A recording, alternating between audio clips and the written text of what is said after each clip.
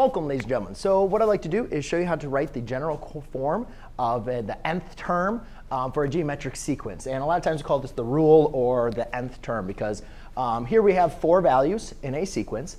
And what we're trying to do is, well, what if I, you know, here is the first term, which we call a sub 1, a sub 2, a sub 3, a sub 4. What if I wanted to figure out what a sub 7 was? Or for any number that I plug in for n, here's what the rule is going to be. So n is going to be our variable, but what we want to do is determine what a sub 1 is and what r is. Well, a sub 1 is going to be your first term in your sequence, so that's going to be 1 sixth. And then r is going to be the ratio between the term and its subsequent term. And most commonly, we usually just use a sub 2 over a sub 1. However, you could do a sub 3 over a sub 2, a sub 4 over a sub 3. But it's the ratio, the multiplier of what you need to do to get from your previous term to the next term. So to find that multiplier, we divide a term by its previous term.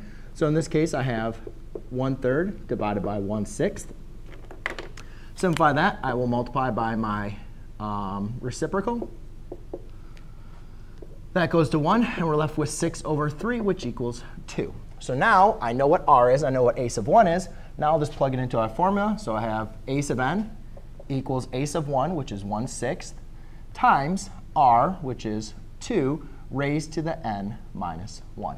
So there you go, ladies and gentlemen. That is how you find the um, nth term for a geometric sequence. Thanks.